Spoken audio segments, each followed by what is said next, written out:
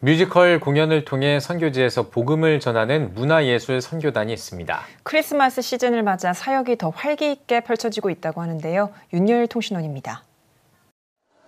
한 편의 공연을 보기 위해 학교 체육관에 사람들이 모여들고 있습니다. 헤리티지 문화예술 선교단은 한인 선교사가 필리핀 청년들로 팀을 구성해 현지에서 뮤지컬 공연으로 문화 사역을 펼쳐가고 있습니다. 코로나 팬데믹 기간 동안 멈춰진 사역은 크리스마스 시즌을 맞아 선교지와 학교 등 복음을 전할 수 있는 곳에서 활동을 이어가고 있습니다. 솔티와 함께 크리스마스라는 제목으로 어, 무대에 오릅니다.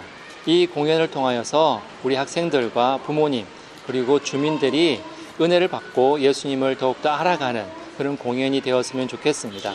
우리 헤리티지는 더욱더 공연 사역이 활발하게 되기를 소망하고 이 필리핀 땅에 문화 사역이 정착되기를 소망합니다. 크리스마스를 주제로 펼쳐진 공연은 아기 예수의 탄생과 목적 그리고 그리스도의 말씀을 전하는 것에 의미를 두고 있습니다.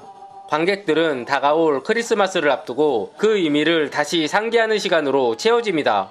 And we're sharing it through Christmas by uh, sharing uh, uh, how the Jesus love uh, sharing gifts or how it, what is the meaning of love when Jesus birth here in this world.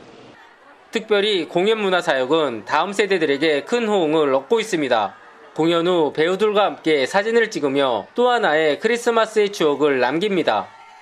Watching the play was fun and amazing kasi though short lang siya, marami ka na, mar, na yung story na tell naman ng maayos.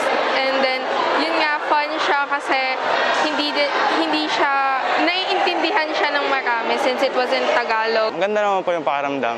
Maganda rin yung message na binigay. Maganda rin yung play. Very energetic sila mag-play. Uh, 크리스마스 시즌에 공연 문화 사역이 복음을 전하는데 더욱 쓰임 받고 있습니다. 필리핀 카비테에서 CTS 뉴스 윤여일입니다.